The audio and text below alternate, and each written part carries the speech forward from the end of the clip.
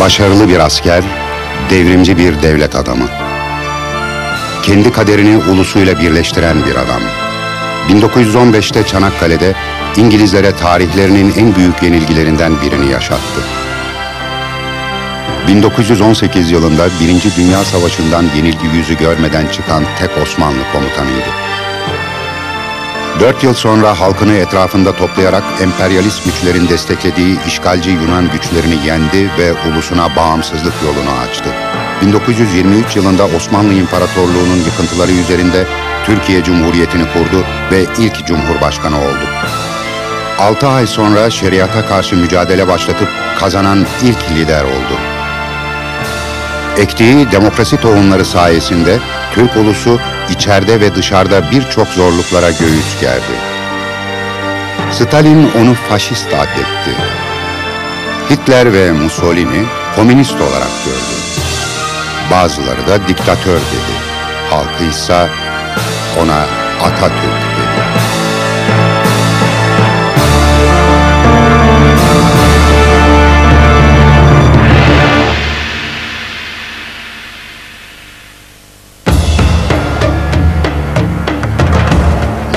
Muhteşem Osmanlı İmparatorluğu.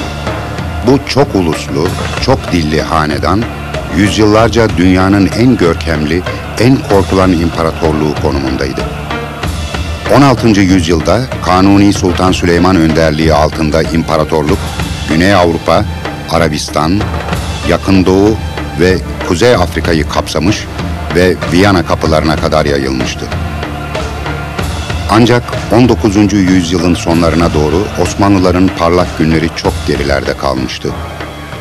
Dünyadaki gelişimin gerisine düşen imparatorluk, Batılılar tarafından Avrupa'nın hasta adamı ilan edilmişti.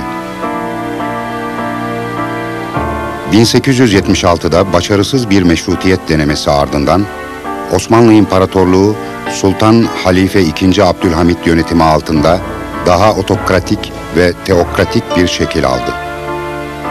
Batılıların Osmanlıların iç işlerine karışmalarına tepki olarak ülkeyi 33 sene boyunca acımasız bir katılıkla yönetti.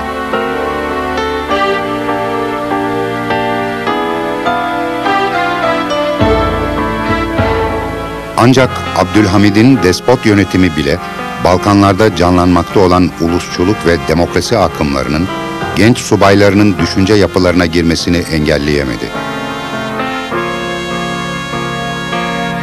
Bu baskıcı padişah yönetimi, ulusçuluk akımları ve iç çalkantıların yaşandığı ortam içine Atatürk bir Osmanlı olarak doğdu, Türk olarak ölecekti.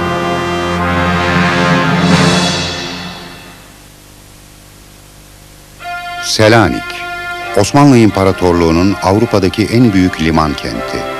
İmparatorluğun önemli bir uzantısı durumundaki bu şehir, Musevi, Türk, Yunan, Ermeni ve diğer Balkan Hristiyanlarından oluşan çok uluslu bir yapıya sahipti.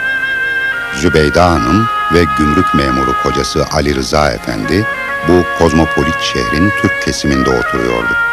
Daha önceki üç çocuklarının ölümünün ardından 1881'de bir oğulları dünyaya geldi. Mustafa Kemal Atatürk Mustafa Kemal Atatürk yaz dolu bir evde doğmuştu. Ölüm dolu bir evde. Annesi gençti ve daha önce de çocukları olmuştu. Mustafa doğmadan bu çocuklar ölmüştü. Psikolojik açıdan onların yerini tutan bir çocuktu. Bu nedenle çok özeldi. Hem annesi hem de ailesi açısından. Mustafa kendisini ölümsüz, annesinin kırık kalbini iyileştiren özel bir çocuk olarak hissetti. Bu onun içinde gerçekti. Çünkü annesi onu öyle görüyordu. Bu yönüne kendi zekasını ve genetik yapısını ekleyerek kendisinde her şeyin üstesinden gelebilecek yaraları sarıcı özellikte bir kişiliğe sahip olma yönünde bir karakter çekirdeği oluşturdu.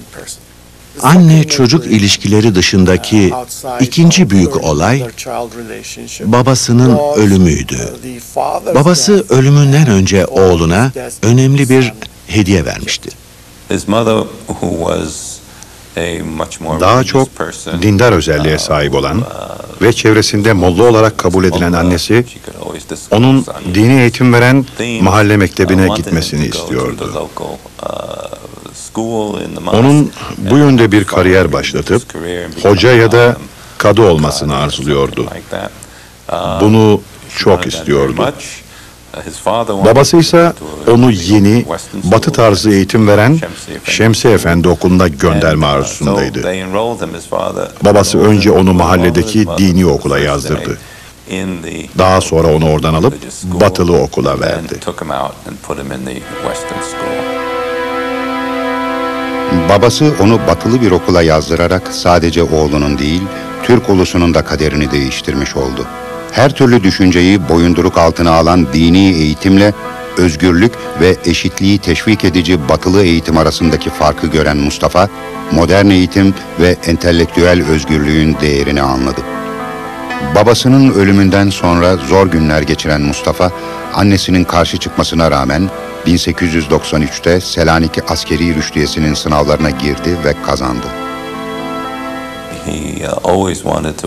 Her zaman üniforma giymek istemişti. Askeri okula girmek isteğinin başlıca nedenlerinden biri budur. Üniforma içinde oldukça yakışıklı duruyordu. Bunun özgüvenine ve benlik duygusuna büyük katkıları oldu. Selanik'te iki yıl okuduktan sonra Mustafa Kemal adını alan Mustafa, 1895'te Manastır Askeri Lisesi'ne girdi. İlk kez evinden uzakta kaldığı manastırda okul dışındaki ortamı ve imparatorluğun Avrupa kısmındaki koşulları yakından gördü. Genç Mustafa Kemal etnik çeşitliliğe ve ulusçuluk fikirlerine tanık oldu. Batı ve Musevi kültürlerini yakından tanıdı. Okuldaki arkadaşları onu Fransız filozoflarının yasaklanmış eserleriyle ve şiirle tanıştırdı. Sabahın erken saatlerine kadar gizlice Rousseau, Voltaire, Montesquieu ve vatansever Türk şairi Namık Kemal'in yapıtlarını okumaya başladı. Genç Mustafa Kemal, imparatorluğun içinde bulunduğu durum için gerçekçi çözümler düşünmeye başladı. Ülkenin artan despot yönetimi ve geleceği yüzünden endişeliydi. Büyük güçlerin desteklediği ve yönlendirdiği yabancı ajanlar imparatorluğa karşı azınlıkları kışkırtıyordu. 1897'de Girit Adası nedeniyle yaşanan bir gerginlik Yunanlılarla Türkler arasında bir savaşa yol açtı. Askerlerin cepheye gidişini gören Mustafa Kemal, içinde milliyetçi ve vatansever duyguların kabarmasına engel olamadı. İki yıl sonra Manastır'da eğitimini tamamlayıp mezun oldu. Artık İstanbul'daki Harbiye Okulu'na devam etmek üzere Osmanlı İmparatorluğu'nun efsanevi başkenti için hazırdı.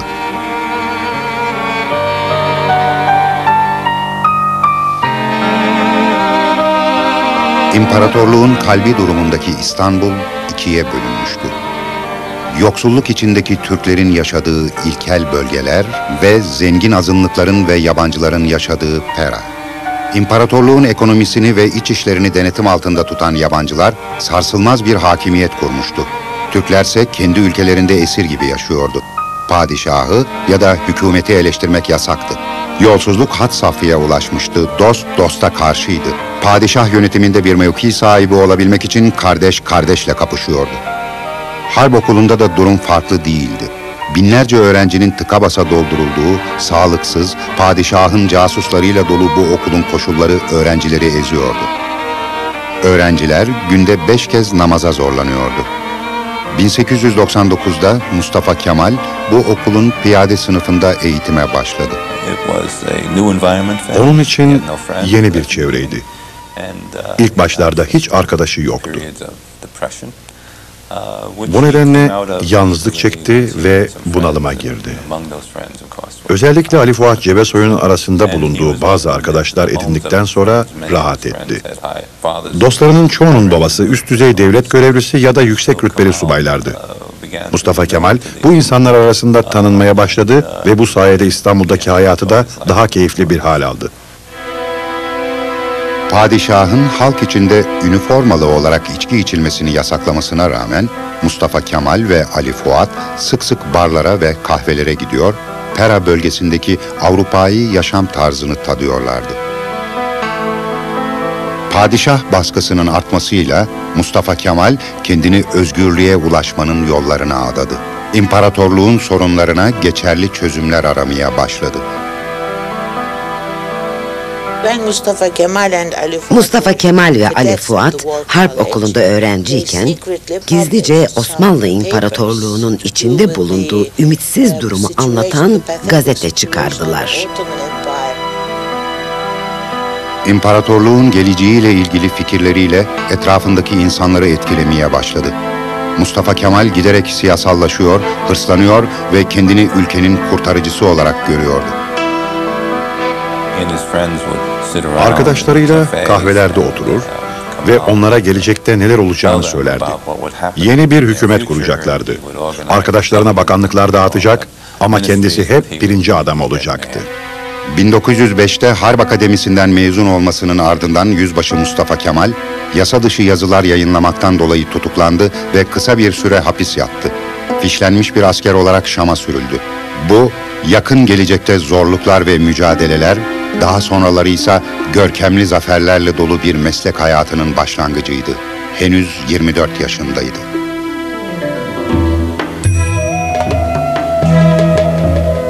Şam'daki 3 yıllık sürgün dönemi boyunca Mustafa Kemal, ordudaki yozlaşmaya, imparatorluk ümmetindeki hoşnutsuzluğa tanık oldu. Hepsinden önemlisi insanların hayatlarını yönlendiren şeriatın onları nasıl köleleştirdiğini ve ilerlemeyi nasıl engellediğini gördü. Şam'da yalnızdı ve çevresindeki koşullardan kaynaklanan baskı ve duyarsızlık nedeniyle depresyon ve uykusuzluğa sürüklendi. Değişimin sadece güçle gerçekleştirilemeyeceğini, bunun için belirli ve sağlam bir yöntem uygulamak gerektiğini anladı. Sürekli okuduğu için bilgi birikimi öyle bir düzeye gelmişti ki şöyle dedi. Şu ana kadar okuduğum filozoflar arasında insanlığın iyiliği için gerçekçi çözümler sunan birine rastlamadım. Diğer subayları ve halka hazırlamak için arkadaşlarıyla beraber Vatan ve Hürriyet adında gizli bir örgüt kurdu. Parolaları özgürlüğün olmadığı yerde ölüm ve yıkım vardır. Her türlü ilerleyişin ve kurtuluşun çözümü özgürlüktür şeklindeydi.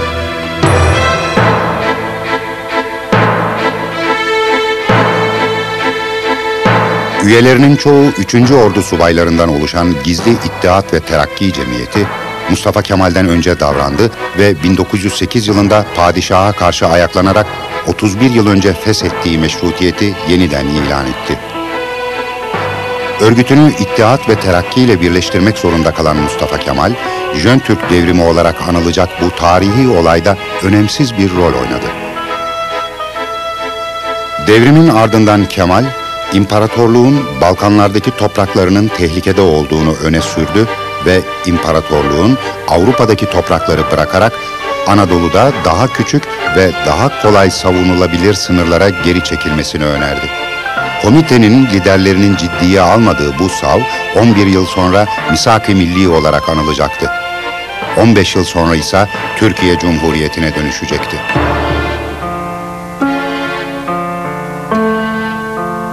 Bir yıl sonra padişah ve işbirlikçileri Jön Türklerin ilan ettiği meşrutiyeti yıkmak için bir karşı devrim hareketi başlattı. Mustafa Kemal, isyanı bastırmak için İstanbul'a yürüyen ordunun kurmay başkanlığına atandı. Hareket ordusu olarak adlandırdığı ordunun başındayken, İstanbul halkına ve genel kurmaya gönderdiği iki telgrafta ulus ve ulusal istenç terimlerini kullanıyordu. O güne kadar resmi yazışmalarda kullanılmayan bu kavramlar, onun gelecek için öngördüğü hükümet modelinin habercisiydi.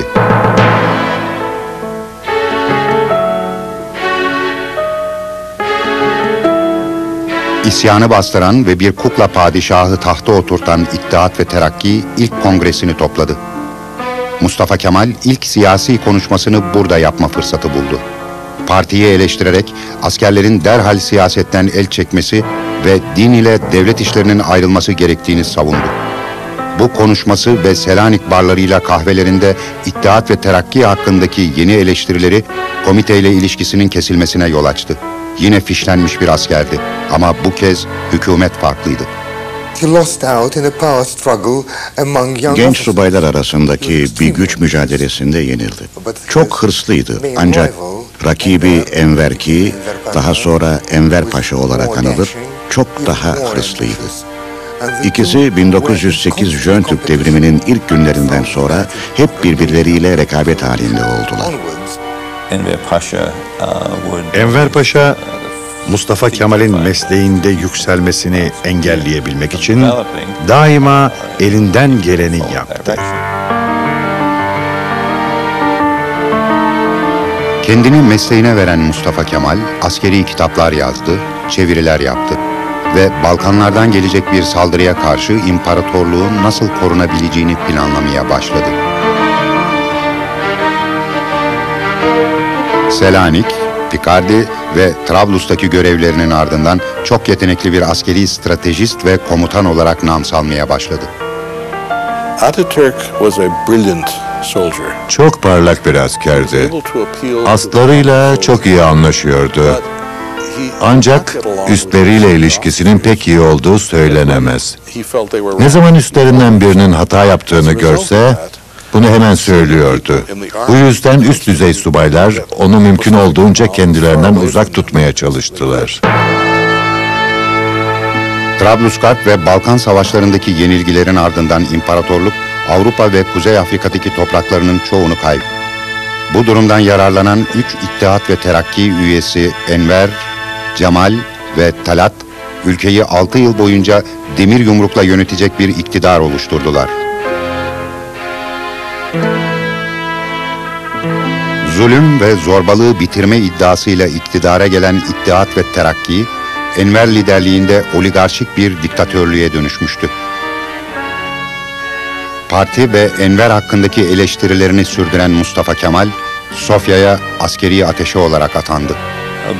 He Oradayken Sofya'nın diplomatik çevresinin gözdesi oluvermişti.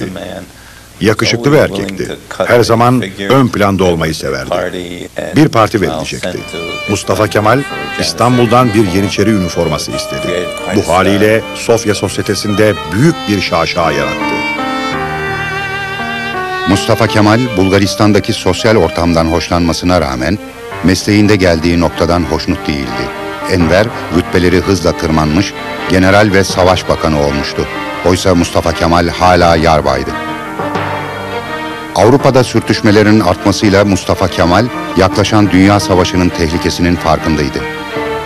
İngiltere'nin ihmali ve Jön Türklerle işbirliği yapmayı reddetmesi üstüne bir de Alman askeri misyonlarının Osmanlı ordusunun içine girmesi, padişahla Alman Kayseri II. Wilhelm arasında yakınlaşmaya neden oldu.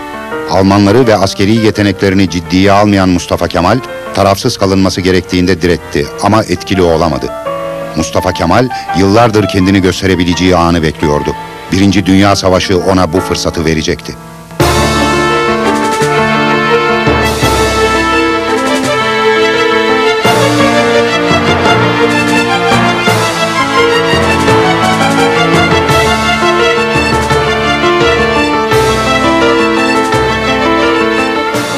Mustafa Kemal'in uyarılarına rağmen Osmanlı İmparatorluğu, İngiltere, Rusya ve Fransa'dan oluşan itilaf devletlerine karşı Almanya ve Avusturya Macaristan İmparatorluğu saflarında savaşa girdi. 550 mil uzunluğundaki Batı cephesinde bir değişiklik olmamasının ardından tüm gözler Doğu cephesine çevrildi.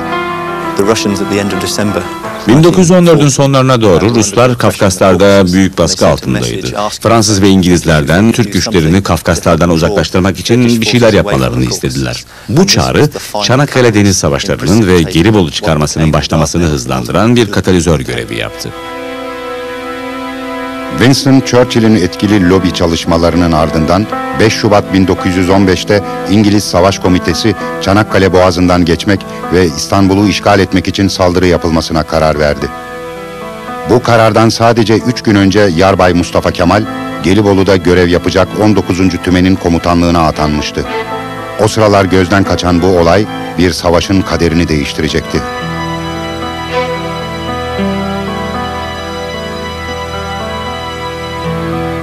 Antik Truva kentinden birkaç kilometre uzakta Çanakkale Boğazı ve Gelibolu Yarımadası bulunuyor. Bu topraklar Büyük İskender, Jason ve Argonotlar efsanelerine tanık olmuştu.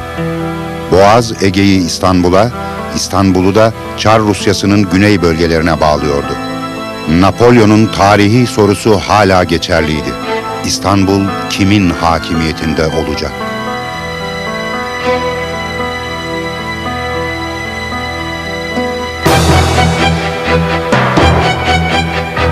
...19 Şubat. Akdeniz'in o güne kadar gördüğü en büyük deniz gücünü toplayan itilaf güçleri... ...Çanakkale Boğazı'ndan geçmek için saldırıya başladı. Türk mevzileri ve tabyalarından yoğun bir karşı ateşle karşılaşan itilaf güçleri geri çekildi. Sonraki harekatların da sonuç vermemesinden dolayı sabırsızlanan Winston Churchill, Mart ayında tam kapsamlı bir deniz saldırısı yapılmasını emretti.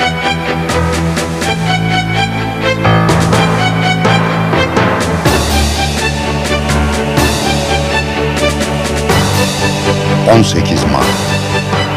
Üç hat halinde boğazlara ilerleyen itilaf devletlerinin gemileri... ...Türk kıyılarını yoğun top ateşine tuttular.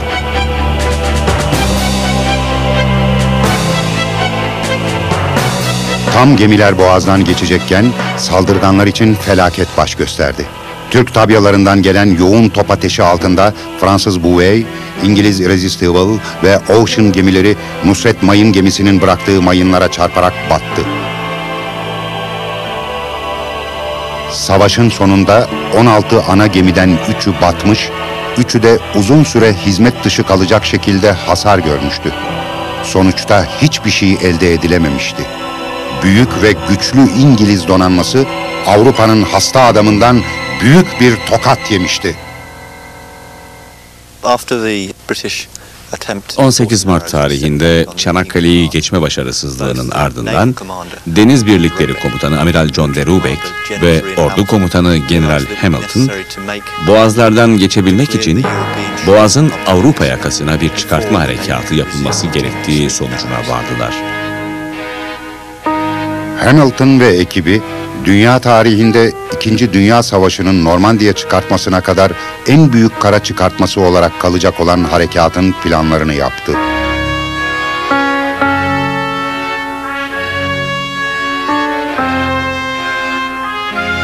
Bir ay süren özenli planların ardından itilaf güçleri, savaş gemilerinin yoğun bombardıman desteği altında 25 Nisan sabahı Gelibolu'ya çıktı.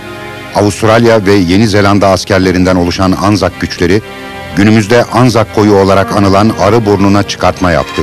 Ciddi bir Türk direnişiyle karşılaşmayan Anzaklar Conk Bayırı'na doğru ilerlemeye başladı. Mustafa Kemal realized from the very first moment Mustafa Kemal Yarımada'yı savunmak için en önemli noktaların Koca Çimentepe ve Conk Bayırı etrafındaki tepeler olduğunun bilincindeydi. Bu noktaların işgal güçlerinin eline geçmemesi gerektiğini biliyordu ve bu bilgiyle hareket etti. Mustafa Kemal Koca Tepe'ye geldiğinde kıyıdaki İngiliz gemileri dışında çok az şey görebiliyordu. Bu yüzden beraberindeki adamları bıraktı ve tepeden aşağı indi.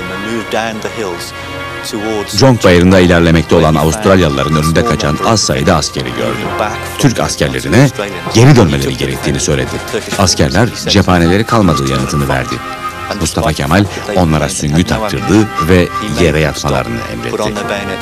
Bu bile tek başına Avustralyalıların ilerleyişini tepenin kuzeyinde durdurmaya yetti.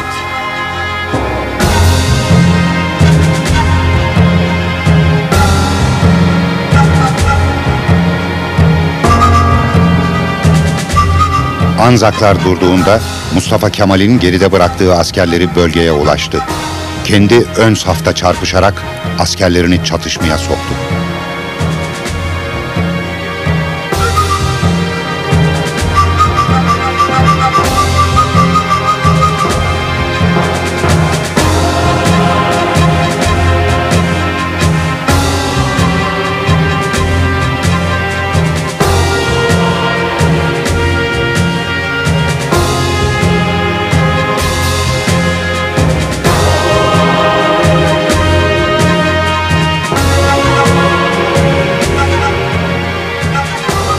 Mustafa Kemal ülkeyi kurtarma fırsatını yakaladığının farkındaydı. Ya dünyaya Mustafa Kemal'in kim olduğunu gösterecek ya da ölecekti. Fanatikçe çatışması ve ölmeye hazır oluşu, size ben taarruz emretmiyorum, ölmeyi emrediyorum. Biz ölünceye kadar geçecek süre içinde yerimizi başka kuvvetler ve başka kumandanlar alabilir buyruğuyla askerlerin ölüme atılmasını sağladı. Şiddetli çatışmalar ve her iki tarafta yaşanan kahramanlıklarla dolu günün ardından Anzakların ilerleyişi durduruldu ve Conk Bayırı güvence altına alındı. 25 Nisan günü Mustafa Kemal'in bu mevkileri elinde tutmayı başarması, Conk Bayırı bölgesinde yaşanan savaş açısından bir dönüm noktası olmuştur.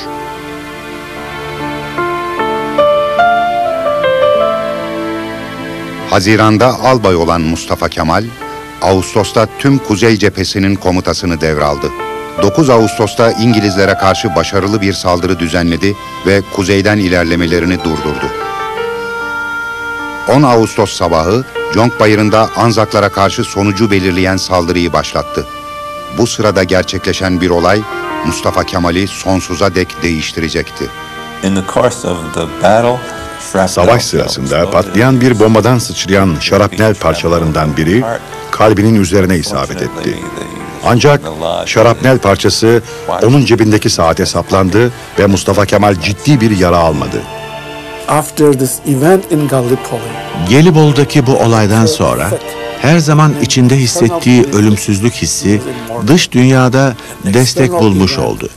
Bu olay bir anlamda ona kendi ölümsüzlüğünü kanıtladı. Kendine olan güveni daha da arttı. Sonradan yapacaklarını böylece daha rahat yapabildi.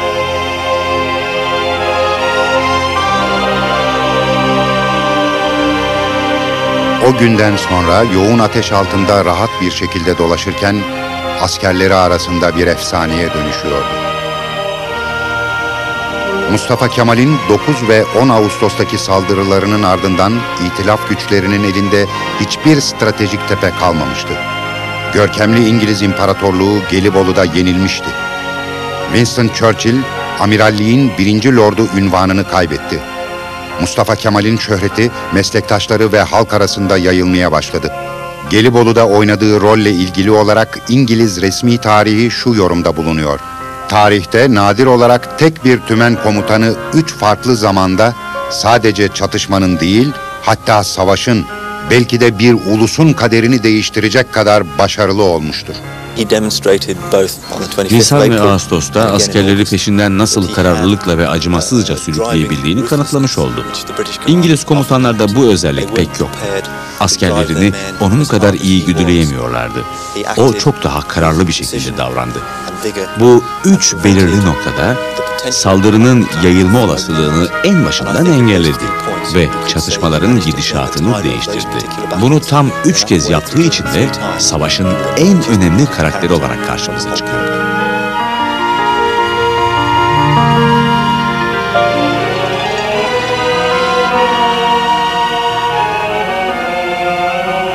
Mustafa Kemal, hükümet tarafından dışlanmış bir subay olarak Gelibolu'ya geldi ve ulusal bir kahraman olarak ayrıldı. Ne yazık ki Gelibolu zaferi kaçınılmaz olanı engellemeye yetmeyecekti.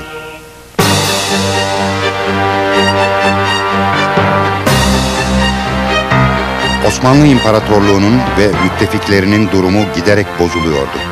Yenilgi artık kesindi. İtilaf devletleri imparatorluğu paylaşmak için önceden planlar yapmıştı.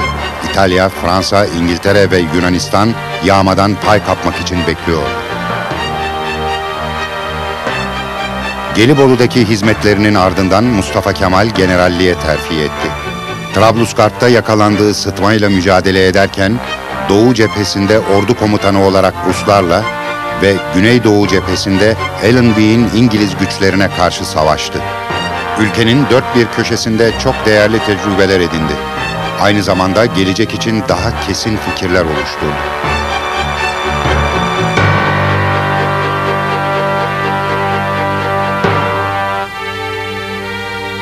...30 Ekim 1918 Osmanlı İmparatorluğu yeni padişah Vahdettin yönetiminde Mondros adasında İngilizlere teslim oldu. İtilaf devletleri hemen ülkenin farklı bölgelerini işgal etmeye başladı. Düşman donanmasının Boğaz'a girdiği gün Mustafa Kemal İstanbul'a döndü. Birinci Dünya Savaşı sırasında yenilmeyen tek Osmanlı komutanıydı. Bunun sonucunda halk arasında çok büyük bir ünü vardı. Mütarekenin imzalanmasının ardından Türkler açısından adil olmadığını ve imzalanmaması gerektiğini söyleyerek bu ününü arttırdı. Boğaz'a demirlemiş düşman gemilerine bakan Mustafa Kemal, geldikleri gibi gidecekler dedi. Türk kurtuluş mücadelesi başlamıştı.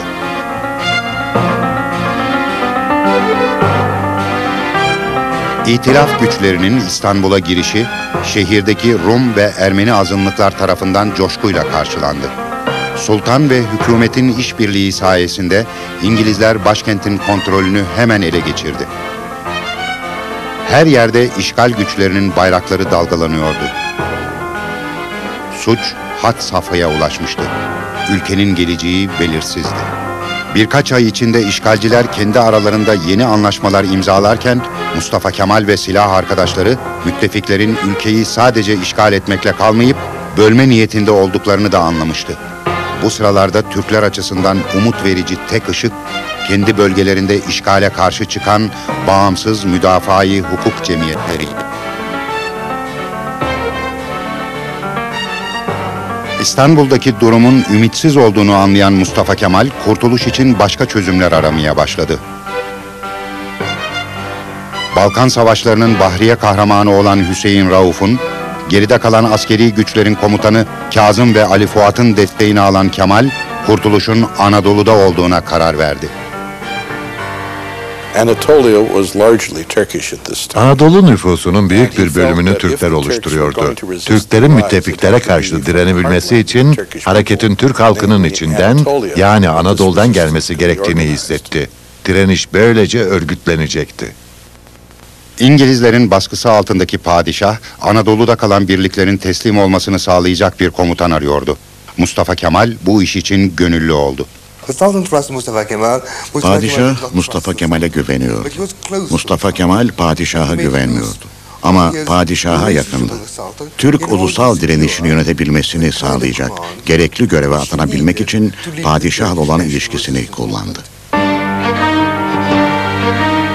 Olağanüstü yetkilerle donatılan Mustafa Kemal, Anadolu'daki iki kol orduya komutanlık edebilecek ve beş vilayetin valisine emir verebilecekti.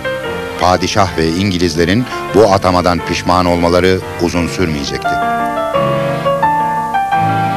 Mustafa Kemal bu yolculuğa çıkmak için hazırlandığı sırada İngiliz Başbakanı Lloyd George 15 Mayıs 1919'da Yunanlıların İzmir'e çıkmalarına izin verdi ve onları destekledi. Lord George'la gizli dayanışma içinde bulunan Yunanlılar bunun geçici değil kalıcı bir işgal olmasını kararlaştırmıştı. Bunu sağlayabilmek için İzmir'de karaya çıktıktan sonra kontrolü ele almak yerine orada yaşayan Türkleri ve Musevileri katletmeye başladılar. Böylece Batı Anadolu'da yaşayan diğer Türk ve Musevileri kaçmaya zorladılar.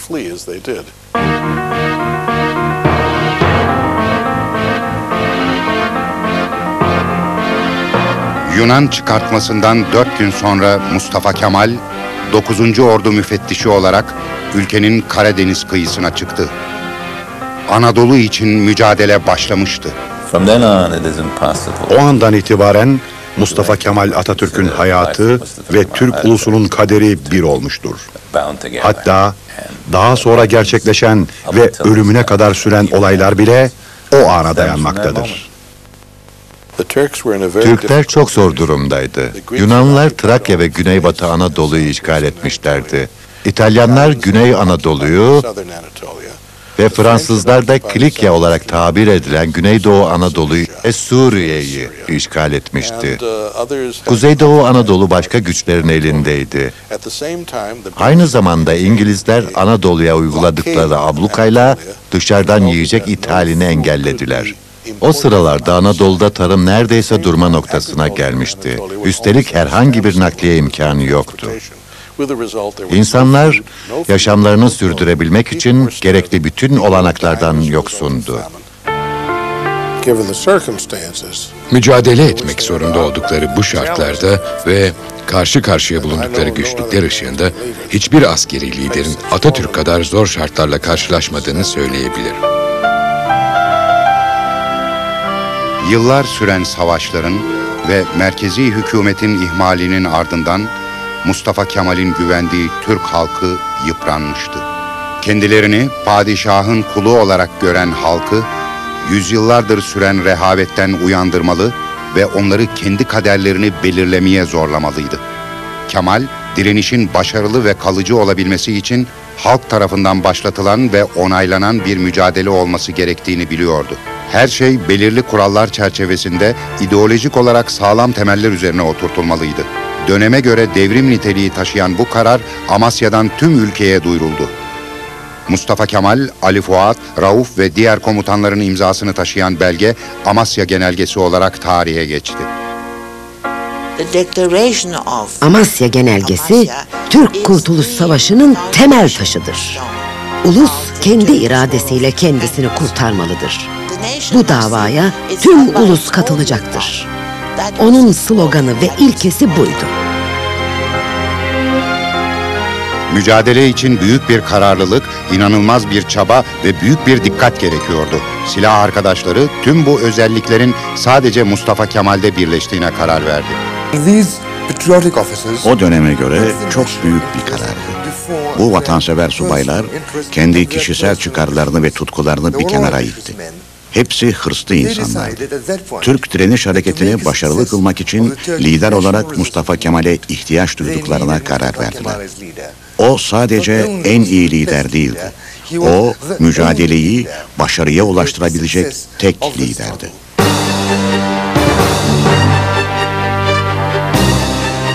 Amasya Genelgesi ayrıca Sivas ve Erzurum'da yapılacak kongreleri de duyuruyordu. Mustafa Kemal liderliğinde ülkenin dört bir yanındaki köy ve kasabalardan seçilen temsilciler ulusal düzeyde düzenli bir orduyla yapılacak bir mücadele başlatmak kararı aldı.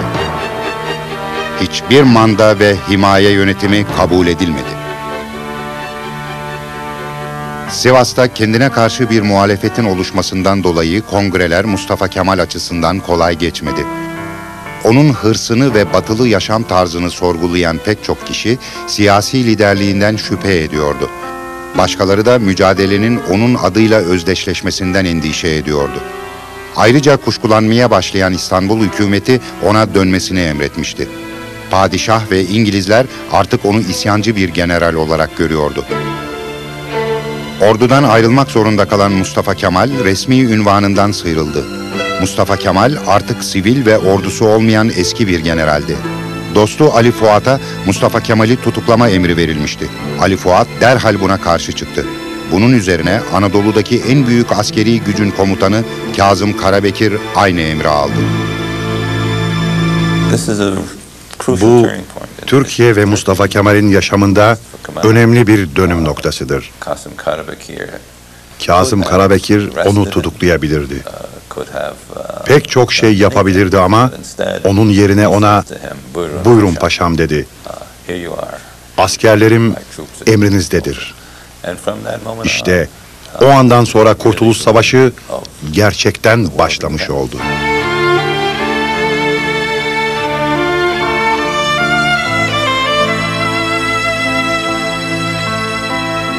Kazım'ın desteğini alan Mustafa Kemal, karargahını Ankara'ya taşıyarak orada bir meclis açmaya karar verdi.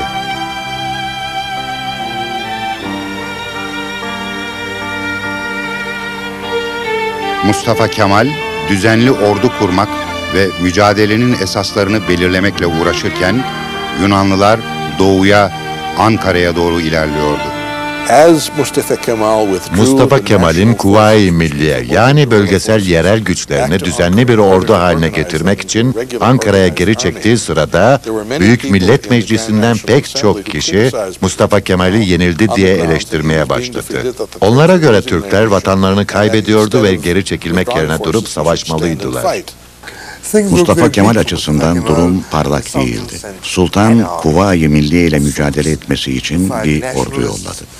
Ayrıca padişahın Mustafa Kemal'in öldürülmesi çağrısı üzerine Anadolu'nun dört bir yanında isyanlar başladı. Mustafa Kemal çaresizlikten güç aldı. Kararlılığı, özgüveni ve çocukluğundan bu yana süre gelen özgürlük tutkusu yorulmadan, dinlenmeden çalışmasını sağladı. Mecliste sayısız saatler geçirerek vekillere içinde bulundukları durumu ve amaçlarını açıkladı. Özgürlük ve bağımsızlık benim karakterimdir. Ulusumun da aynı özelliklere sahip olmasını şart koşarım. Ben yaşayabilmek için özgür bir ulusun evladı olmalıyım. Bu sebeple ulusal bağımsızlık benim için bir hayat meselesidir. Yunan ilerleyişini durduracak düzenli bir ordu kurmak için dava arkadaşlarıyla birlikte çalışmaya devam etti. İki olay onun hayatının akışını değiştirecekti. Biri kişisel, biri politikti.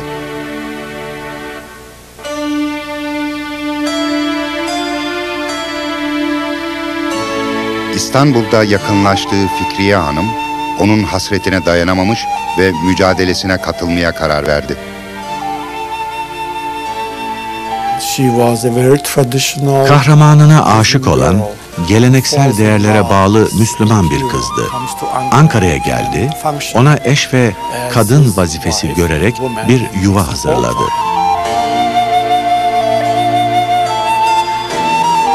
Fikriye Hanım Mustafa Kemal'e aşıktı.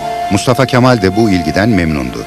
Ankara halkı zaman zaman at binerek Mustafa Kemal'e eşlik eden bu güzel kadını fark etmekte gecikmedi. Evli olmamalarına rağmen mükemmel bir çift gibi görünüyorlardı. En azından Fikriye öyle düşünüyordu. Mustafa Kemal'in ne düşündüğünü ise zaman gösterecekti.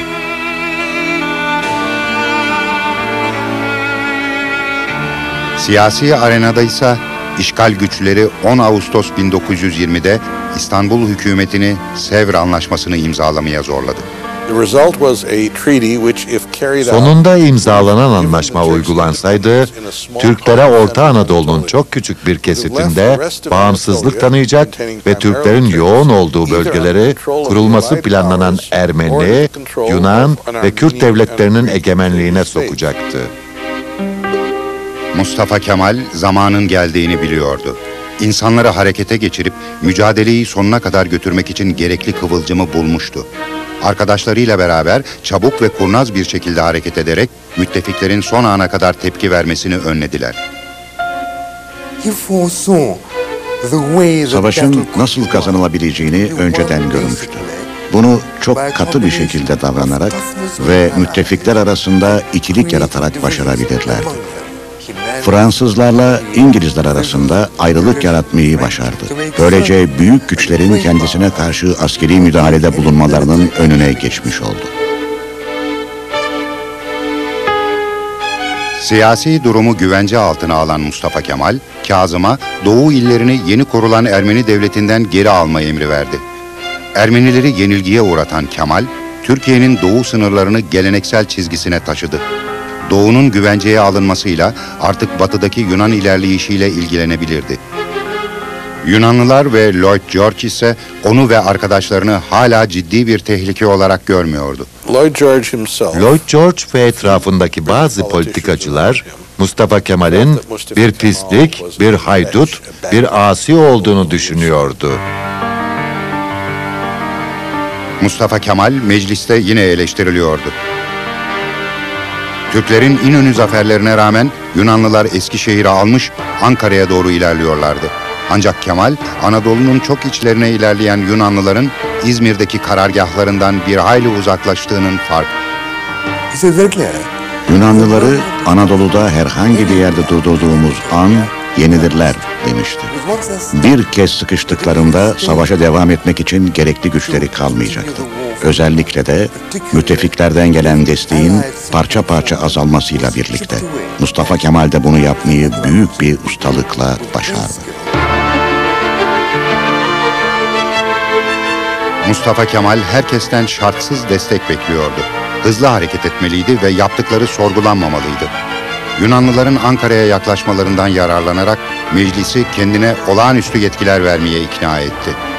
Artık başkumandan olan Mustafa Kemal, görülmemiş bir enerji ve kararlılıkla Türk ordusunu düzenlemeye ve donatmaya başladı.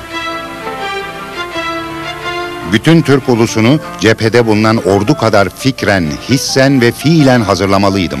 Köyde, evinde, tarlasında bulunan herkes kendini silahla vuruşan bir asker gibi görmeliydi. Sadece bir orduyu yönetmek ve savaşa hazırlamakla kalmıyor, aynı zamanda yeniden oluşturuyordu. Bunun için Türk halkının onayına ihtiyacı vardı. Yeni kaynaklar yaratmalı ve donanımlar tasarlamalıydı. Ayrıca tüm organizasyonu sıfırdan eğitmeliydi. Benim görüşüme göre bu büyük bir başarıdır. Mustafa Kemal'in karizmatik liderliği sayesinde her Türk bağımsızlığını geri almak için onun etrafında toplandı. Yunan ordusunun Ankara'ya 51 kilometre yaklaşmasıyla beraber her şey Sakarya Nehri kıyılarında yaşanacak olan savaşa bağlıydı. Kemal orduya kumanda etmek için şahsen oradaydı. Orduya şu emri verdi. Hattı müdafaa yoktur, satı müdafaa vardır. O satı bütün vatandır.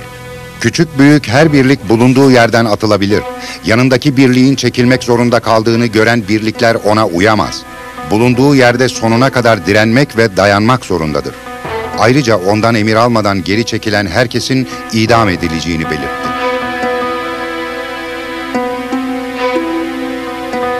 Mustafa Kemal'in liderliğinde Türkler mücadeleye hazırdı.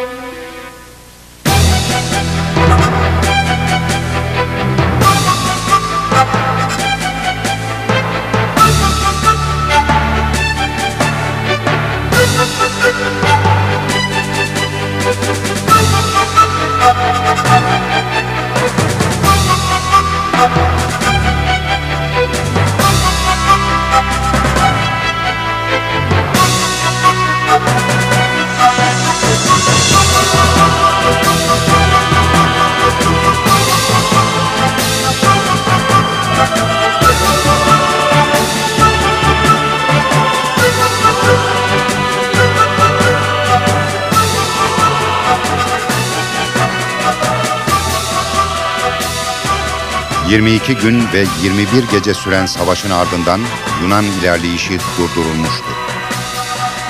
Direniş o kadar başarılı olmuştu ki Yunanlar sadece Sak Direniş o kadar başarılı olmuştu ki Yunanlar sadece Sakarya'dan geri çekilmekle kalmadı, bir daha asla Sakarya'ya sokulmaya cesaret bile edemediler. Milli mücadele açısından bir daha ciddi bir tehdit oluşturamadılar. Mustafa Kemal'e meclis tarafından gazi ve maraşallik rütbesi verildi. Şöhreti sadece ülke içinde değil, İngiliz İmparatorluğu'nun doğudaki sömürgelerinde de yayılıyordu.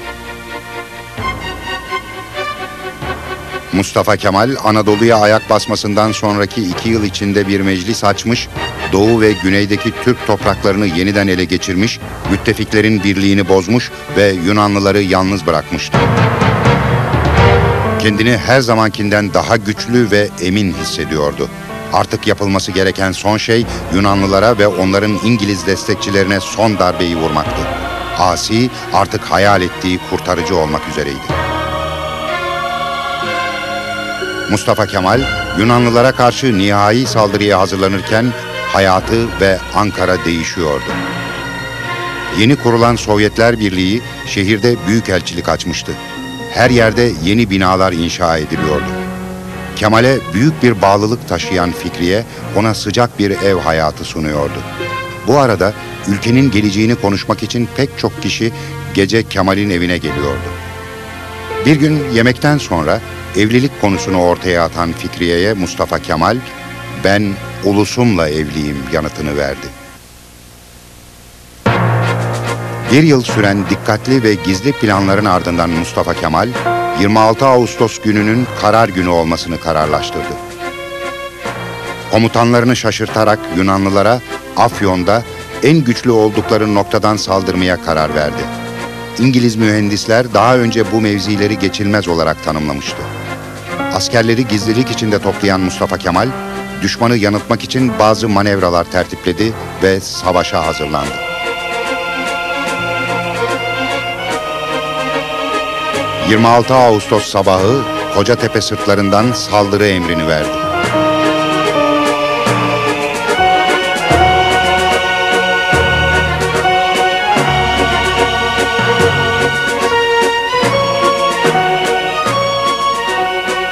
Zafere kısa sürede ulaşıldı. Türk ordusunun hızlı ve ani saldırısıyla Yunanlılar hazırlıksız yakalanmıştı. Üç gün içinde Yunan cephe komutanı esir alındı ve Türkler Yunanlıların üç yıl önce karaya çıktığı İzmir'i kurtarmak için ilerlemeye başladı.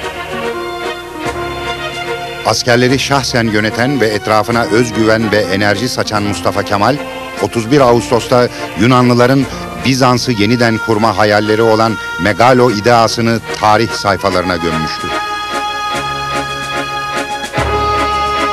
Geri çekilen Yunan ordusunu amansız bir şekilde takip eden Türk ordusu 9 Eylül 1922'de İzmir'e girdi.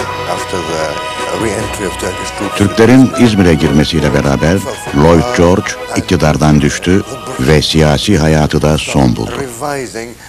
Diplomatik çevrelere yakın Doğu için planlarını yeniden gözden geçirdiler ve bölgede Yunanistan'ın değil, Türkiye'nin güçlü unsur olduğu yönündeki anlayışa geri döndüler. Yunanistan'da ise bir ihtilal oldu. Başbakan ve bazı generaller idam edildi. Sonunda da krallık devrildi. Kurtarıcı olarak kabul edilen Mustafa Kemal, ülkenin en güçlü ve en saygın insanıydı. Ona Osmanlı hanedanlığının tahtına oturması, padişah ve halife ünvanları teklif edildi. Onunsa başka planları vardı. Mustafa Kemal eline geçen ilk fırsatta saltanatı kaldırma niyetindeydi. Bu fırsatı ona yine itilaf devletleri sunacaktı. Hem padişah hükümetini hem de Ankara'daki hükümete davet çıkararak anlaşmayı görüşmek üzere Lozan'a ortak bir heyet göndermeleri çağrısında bulundular. Herkesi yendikten sonra Mustafa Kemal'in Türkiye hükümetini düşmanlarla işbirliği yapan İstanbul hükümetiyle paylaşmaya niyeti yoktu. Durumdan yararlanan Mustafa Kemal, halkı temsil eden ve onun iradesiyle hareket eden tek hükümetin Ankara hükümeti olduğu konusunda milletvekillerini ikna etti. Vekillerin dini duygularını rencide etmek istemeyen Mustafa Kemal, saltanatla halifeliğin birbirinden ayrılmasını ve saltanatın kaldırılmasını teklif etti. Bunun üzerine ateşli tartışmalar yaşandı. Bir noktada tartışmalar öyle bir hal aldı ki Mustafa Kemal bu öneri kabul edilmezse bazı kelleler gider demek zorunda kaldı. Bu kadarı yetmişti. Saltanat kaldırıldı. İki başlı hükümet durumuna son veren Mustafa Kemal dikkatini Lozan Barış Konferansı'na verdi. Yeni atadığı Dışişleri Bakanı İsmet Bey bu konferansta Türkiye'yi temsil ediyordu. Mustafa Kemal'den aldığı kesin emirler doğrultusunda hareket eden İsmet Bey, İtilaf devletlerine eşitlik ve saygı isteyen yeni bir hükümetle karşı karşıya olduklarını açıkça anlattı. Aylar süren görüşmelerin ardından Türk heyeti siyasi, ekonomik ve askeri alanlarda tam bağımsızlık elde etti. Türkiye'nin sınırları küçük değişiklikler dışında Mustafa Kemal'in 1907 yılında çizdiği ve daha sonra Misak-ı Milli olarak adlandırdığı sınırlarla aynıydı. Diplomasi ve siyasetteki bu baş döndürücü tempo arasında Mustafa Kemal'in özel hayatı büyük bir karmaşa içindeydi. Büyük taarruzu yönettiği sıralarda vereme yakalanan Fikriye'yi Ankara'da bırakmış ve İzmir'de Latife adında genç bir kadınla tanışıp ondan etkilenmişti. Şimdi iki kadın arasında bir seçim yapmak zorundaydı. Fikriye Mustafa Kemal'i seviyordu. Onun için bir yuva hazırladı. Ancak Fikriye onun yeni Türk kadını için öngördüğü modele uymuyordu. Batı tarzında eğitim almış olan, Batı dillerini konuşan ve güçlü bir iradeye sahip olan Latife Hanım bu modele daha uygundu. Tedavi için Fikriye'yi İsviçre'ye gönderen Mustafa Kemal, Latife Hanım'a ona olan ilgisini açıkladı. Kısa bir süre sonra evlendiler. İlk başlarda beraber dolaşıyor ve ülkeyi geziyorlardı.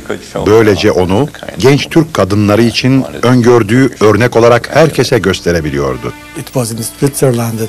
Fikriye Atatürk'ün evliliğini öğrendiğinde İsviçre'deydi ve Ankara'ya döndü.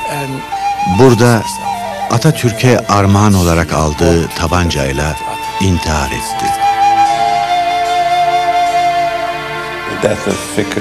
Fikriye'nin ölümü onda bazı duygusal sıkıntılara yol açsa da bu durumu kısa sürede atlatmasını bildi.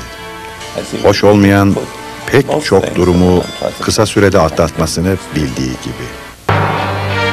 Siyasette Mustafa Kemal için yine zor bir dönem başlıyordu. İnsanlar saltanatın kaldırılmasından dolayı tepkilerini gösteriyor ve eski dostlar düşmanca davranıyordu. Halifeye verdikleri destek ona geriye tek bir seçenek bıraktı.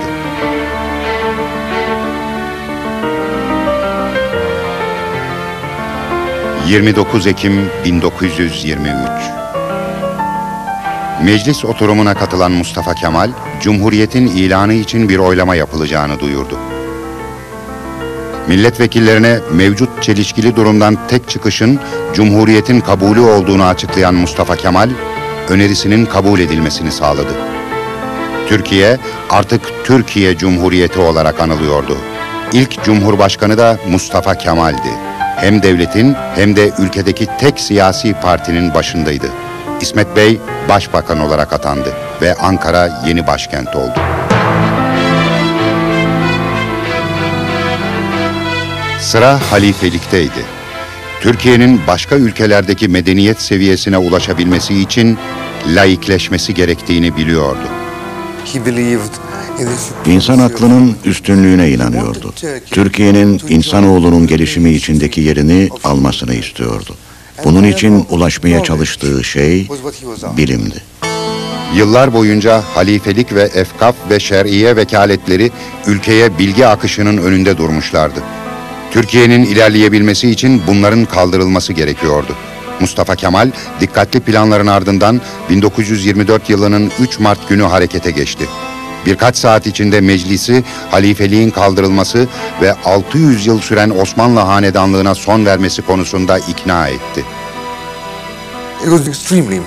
Bu oldukça önemliydi. Çünkü sonuçta dinle devlet işlerinden ayrılması ve devletin sağlam temeller oturtulması anlamına geliyordu.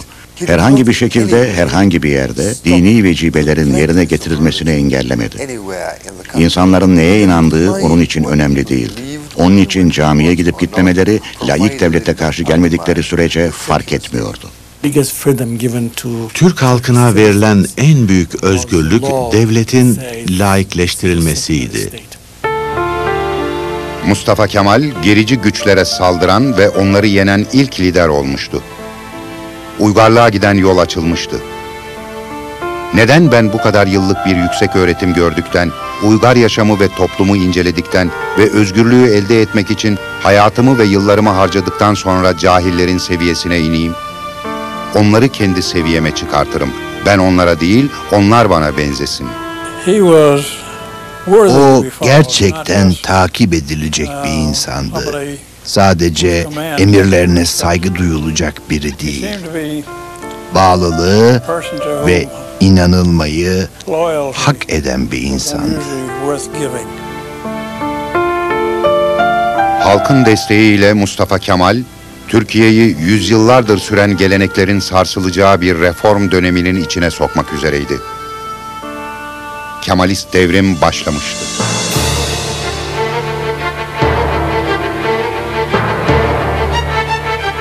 Mustafa Kemal, Türk ulusunun hem görünüşüyle hem de düşünceleriyle modernleşmesi gerektiğine inanıyordu.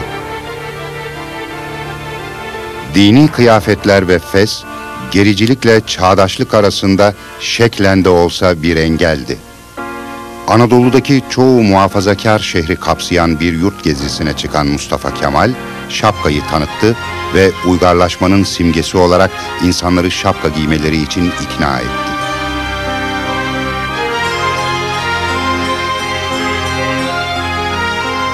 Ayrıca ölülerden ve yatırlardan medet ve merhamet umma şeklindeki eski gelenekleri eleştirdi. Dönüşünden sonra din görevlileri dışındaki insanların dini kıyafetler giymesi yasaklandı. Ayrıca tekkeler ve türbeler kapatıldı. Dokuz gün süren yolculuğu boyunca toplumun geleneksel ve göreneksel temelini yerinden oynatmayı başarmıştı. Bunun yerine yeni bir temel koymaya hazırdı. Ne yazık ki siyasetteki başarısına rağmen evinde sorunlar yaşıyordu. Latife ile olan ilişkisi büyük bir hızla kötüye gidiyordu. Latife Hanım, Mustafa Kemal'in herhangi birisi, özellikle karısı tarafından kontrol edilebilecek biri olmadığı gerçeğini pek kavrayamamıştı. Mustafa Kemal'in alışkanlıkları, güvenli bir aile hayatını destekler nitelikte değildi. Çok çalışıyordu. Çalışmalar gece geç saatlere dek sürüyordu. İnsanlar geceleri sık sık Çankaya'ya geliyordu. Bu insanlarla buluşur, ne tür reformların gerektiğini tartışır ve onların katılımını talep eder, önerilerini dinlerdi. Bu toplantılar sabah 4'e 5'e kadar sürerdi. Bu tür bir yaşam tarzı evlilik hayatı açısından pek uygun sayılmazdı. Nihayet evlilikleri boşanmayla sona erdi. Evlilikleri yaklaşık iki buçuk yıl sürmüştü. Bir daha asla evlenmedi. Mustafa Kemal'in içgüdüleri eski döneme aitti. Ancak düşünceleri moderndi. Mantık olarak kadınların gelişmesini, çağdaşlaşmasını istiyordu. Böylece Türkiye gelişmiş ülkelerin seviyesine daha hızlı ulaşacaktı. Ancak özel hayatına baktığımızda kadınlara eşit davranmakta zorluk çektiğini görüyoruz.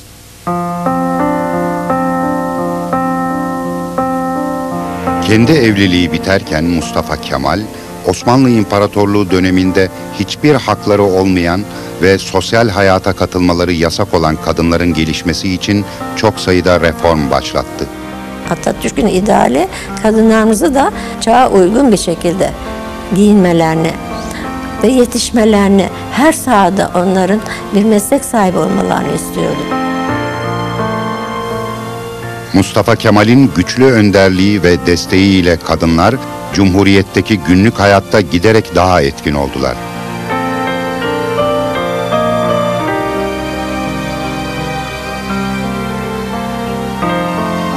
...1926 yılında çok eşliliği yasaklayan ve kadınlara evlilikte eşit haklar tanıyan İsviçre medeni hukukunu Türkiye Cumhuriyeti'ne uyarladı.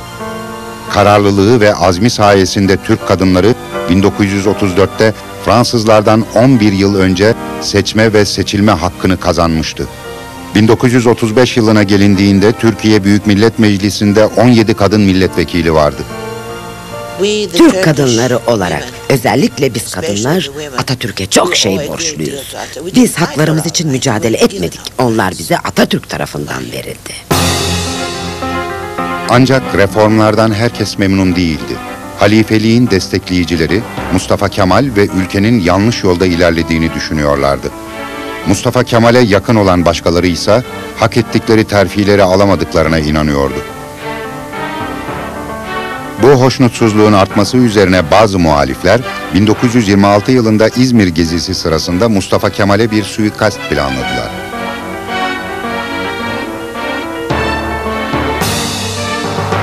Bir muhbir sayesinde suikastçiler harekete geçemeden yakalandı. Mustafa Kemal İzmir'e zarar görmeden girdi. Ancak öfkeliydi.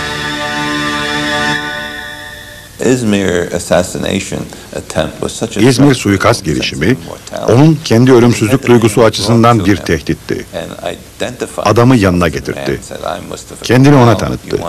Ve ben Mustafa Kemal'im. Beni öldürmek istedin dedi. Ona tabancasını verdi ve hadi ateş et dedi. Tabii ki adam cesaret edemedi. Ancak Mustafa Kemal ölümsüzlük duygusunu yeniden eski haline getirmek için hayatına karşı bu girişimle yani böyle bir suikastle bu şekilde yüzleşmek zorundaydı.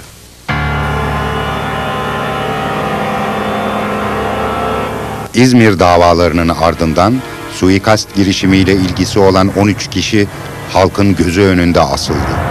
Tüm işbirlikçiler ve reformla cumhuriyet karşıtları susturulmuştu.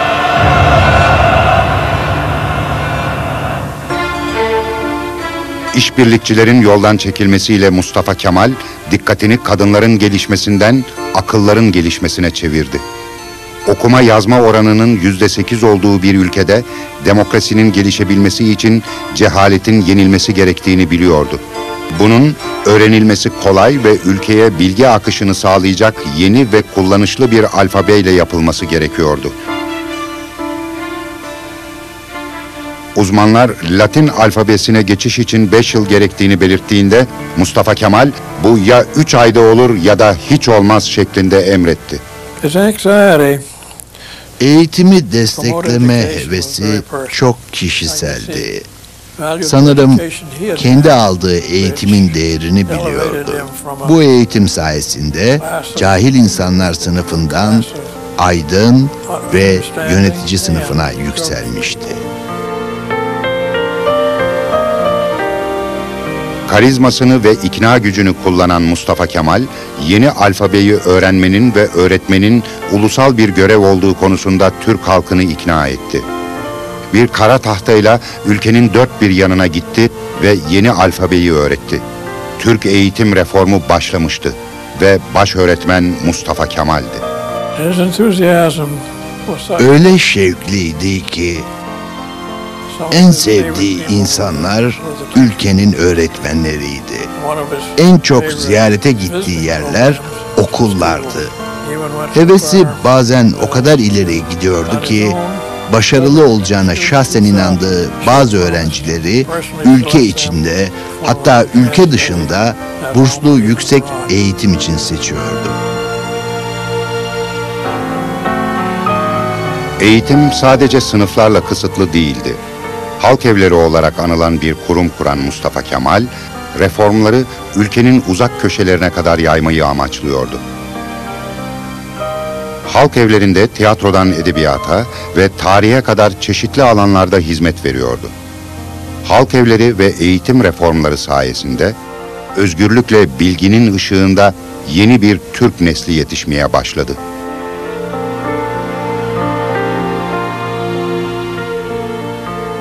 Bu yeni bir çağın, yüzyıllar süren cehaletten uyanmanın başlangıcıydı.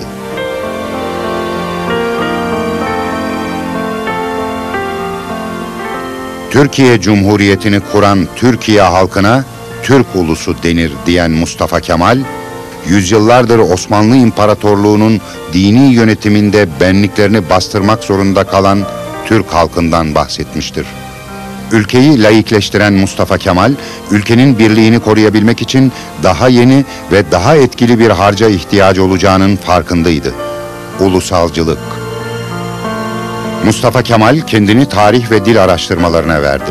Böylece halkın gurur duymasını sağlayacak Türk tarihiyle ilgili bilgiler bulmayı amaçlıyordu. Türk Dil ve Tarih Kurumu'nu kurdu ve çalışmalarına şahsen katıldı. Onun çabaları sayesinde Türkiye'deki Türkler kendilerini ve atalarını tanımaya başladı. Mustafa Kemal'in çabaları sayesinde Türkiye halkının benlik duyguları ve özgüvenleri gelişti. Bunu en iyi şekilde yine Mustafa Kemal ifade etti. Türk, öğün, çalış, güven.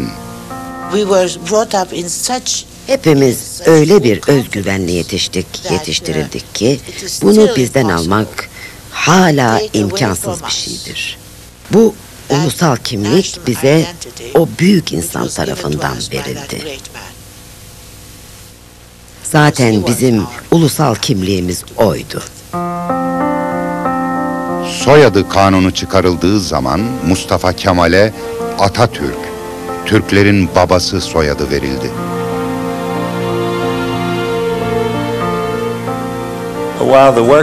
Yapılan işler çok ciddiydi ama Mustafa Kemal eğlenmesini de biliyordu.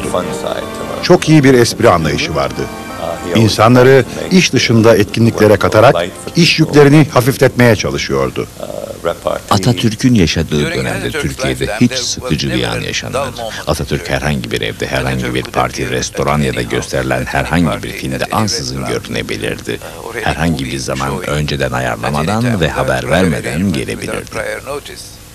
Hem eğlenceye hem de işe zaman ayırabilme yeteneği sayesinde durmak bilmeden çalışabiliyor ve işine konsantre olabiliyordu. 1930'ların başında Türkiye hızla gelişmeye başlamıştı. Atatürk nihayet eserini, dikkatlerini bu yeni cumhuriyete çevirmiş olan dünyaya tanıtmaya hazırdı. Onu ziyarete gelen sayısız yabancı konuk arasında Galler Prensi, Ürdün Kralı ve Amerikan ordusunun Genelkurmay Başkanı General Douglas MacArthur da vardı.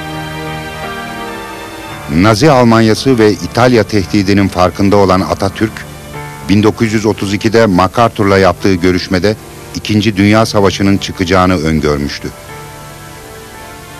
Gelişmekte olan tehlikeye karşı önlem olarak dış politikasını tüm komşu ülkelere açıkladı. Türkiye'nin bir karış yabancı ülke toprağında gözü yoktur.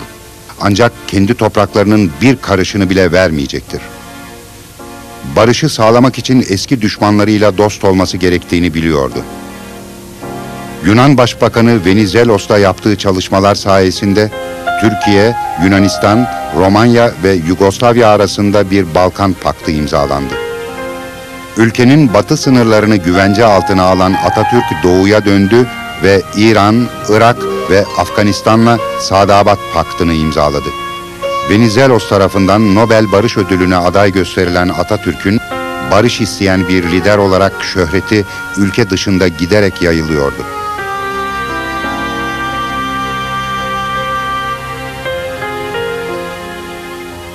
Tüm bu şöhrete ve etrafındaki onca insana rağmen Atatürk yalnızdı. Çocukları seven ve düzenli bir aile hayatı yaşatmaya çalışan Atatürk, sekiz kız çocuğu evlat edindi. Bu genç kadınların Türk gençliği için örnek olmasını istiyordu. Onların hayatının her yönüyle ilgileniyordu. Eğitimleri, giyim tarzları, katıldıkları sporlar ve seçtikleri kariyerleri. Bu kızların hayatları onun projeleriydi. Ben önce zaten bu mesleğe girdiğim zaman öyle bir eğlence gibi geldi bana. O şekilde böyle kabul ettim belki de. Sonra baktım Atatürk fevkalade ilgileniyor. O kadar ilgileniyor ki aa, o zaman aklım başıma geldi. Dedim ki madem ki böyle Atatürk bunu istiyor ben mahcup olmayayım ona karşı, millete, milletime karşı da olmam. Daha ciddi bir tavır takındım. Daha ciddi çalıştım. Ve işte nihayet sonunda havacı oldum. Son yıllarında evlat edindiği en küçük kızı Ülkü, onun ilgisinin ve sevgisinin odağı oldu. Atatürk Ülkü'yü hiç bırakmazdı. Mesela Ülkü'ye hep sorardı ne olmak istiyorsun diye. Ve Ülkü sanatkar olmak isterdi. Onu hep teşvik ederdi. Bak benim kızım büyüyecek, işte sanatkar olacak, ne kadar iyi olacak gidip onu ben seyredeceğim, alkışlayacağım diye hep böyle onu teşvik ederdi. 1936 yılına gelindiğinde ülke kendi başına ilerleyebilecek duruma gelmişti.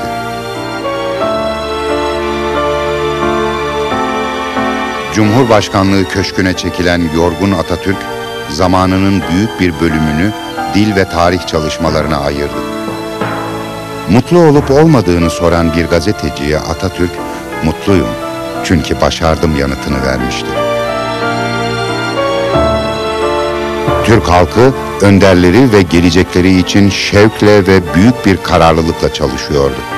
Halk Atatürk'e olan sevgisini konuşarak ve tartışarak değil, büyük bir azimle ülkeleri için çalışarak ve vatandaşlık görevlerini yerine getirerek gösteriyordu.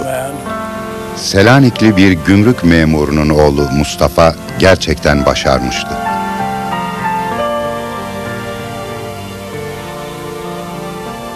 Yıllar süren düzensiz uyku alışkanlıkları, düzensiz beslenme, yorucu çalışmalar ve alkol yüzünden Atatürk'ün sağlığı 1937 yılında hızla bozulmaya başladı. Siroz olan Atatürk, yenilmeye mahkum olduğu tek savaşa girişti. Türk ulusu nefesini tutarken, Türk ve yabancı doktorların çabalarına rağmen sağlık durumu giderek kötüleşti.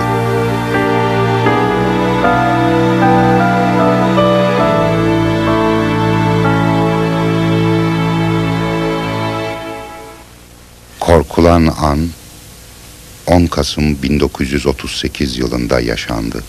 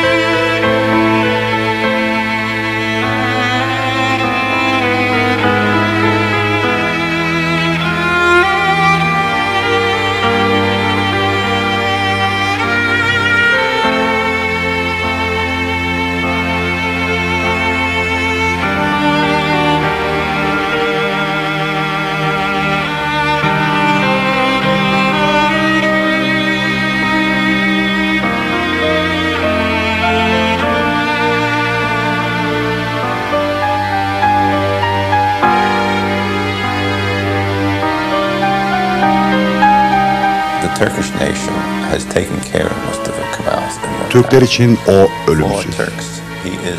Sonsuza dek yaşayacak. Zor dönemlerde güç almak için hep onun anısına başvuruyorlar.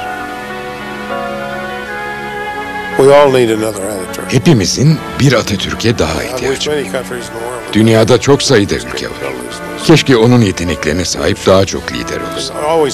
Bu bazılarını rahatsız edebilir. Ama benim inancım bu. Atatürk gibilere hep ihtiyaç olacak.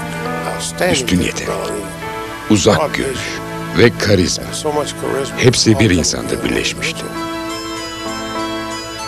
Yapılan işler açısından bakıldığında Atatürk kadar yetenekli ve başarılı olan hiç kimse yok.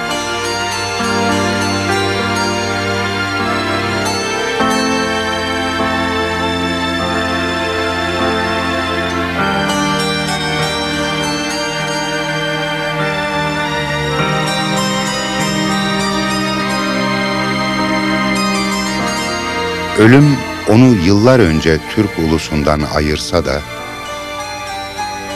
günümüz Türkiye'si hala Atatürk'ün Türkiye'sidir.